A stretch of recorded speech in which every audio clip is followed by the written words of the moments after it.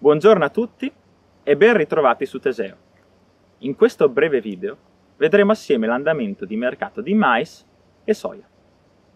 Le quotazioni di luglio evidenziano che il costo indicativo dell'alimentazione bovina è in leggero rialzo, invertendo il trend dei due mesi precedenti. Il prezzo del mais nazionale, driver per la componente energetica della reazione, segue un trend in graduale aumento e la media delle quotazioni di Milano in luglio è di 183 euro a tonnellata. Il prezzo della farina di soia, driver per la componente proteica della reazione, mostra una tendenza negativa e la media delle quotazioni di Milano in luglio è di 332 euro a tonnellata. La produzione di mais in UE settembre 2019-agosto 2020 si dovrebbe chiudere con un aumento del più 3,6%, secondo le stime USTA.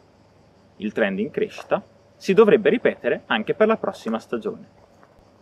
Nell'Unione Europea, l'aumento produttivo di mais nella stagione in corso, unito ad un minor utilizzo nel campo zootecnico, si è riflesso in una riduzione dell'import e un aumento delle esportazioni. Le esportazioni UE, infatti, nel periodo gennaio-maggio hanno registrato un più 62,2%, per un totale di 2,68 milioni di tonnellate.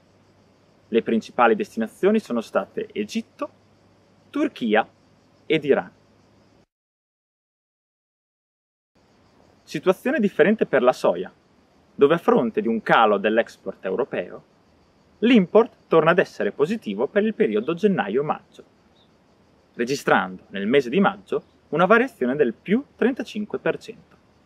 L'Italia, importatrice netta di mais e soia, nei primi quattro mesi del 2020 ha registrato una diminuzione nell'importazione di questi due prodotti agricoli, rispettivamente meno 5,4% per il mais e meno 0,7% per la soia.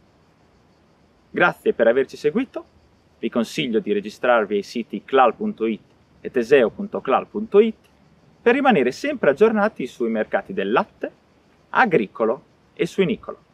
Arrivederci da Michele Badolato e dal team di Clal.